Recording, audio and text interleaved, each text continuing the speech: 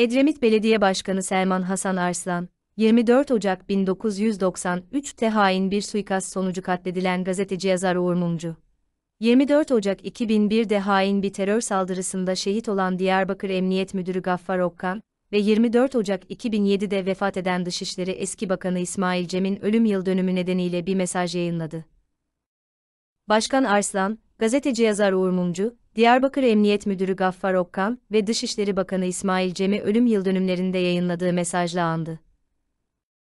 24 Ocak tarihinin Türkiye Cumhuriyeti'nin laik demokratik ve insan haklarından ödün vermeyen bir ülke olması için mücadele veren 3 yiğit insanın yitirdiği gün olduğuna vurgu yapan Başkan Arslan mesajında şöyle dedi.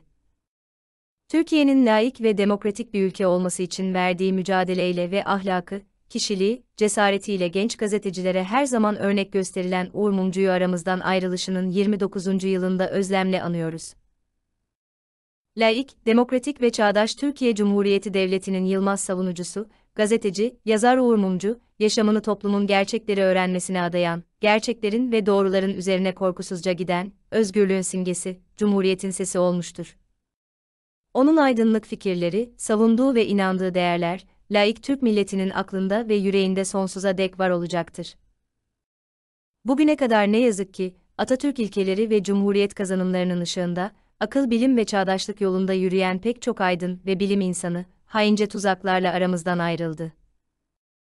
Bugün aynı zamanda görevi başında şehit edilen Diyarbakır Emniyet Müdürü Gaffar Okkan'ın 21. ve eski Dışişleri Bakanımız İsmail Cem'in 15. ölüm yıl dönümü. Başarılı çalışmalarıyla Türk halkında derin izler bırakan yurtsever, cesur ve aydınlık kalem, Cumhuriyeti, bağımsızlığı, özgürlüğü ve hukukun üstünlüğünü savunan Uğur Mumcu'yu, devlet ile halk arasında güçlü bağlar kuran, vatan aşkıyla görevini yaparken şehit edilen Gaffar Okkan'ı ve Türkiye dış politikasına itibar kazandıran, dürüst samimi. Örnek siyaset ve devlet adamı Dışişleri Bakanımız İsmail Cem'i sevgi, saygı ve özlemle anlıyorum.